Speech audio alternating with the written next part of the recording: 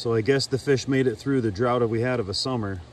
This is one of the biggest I've caught from this particular stream. I'm guessing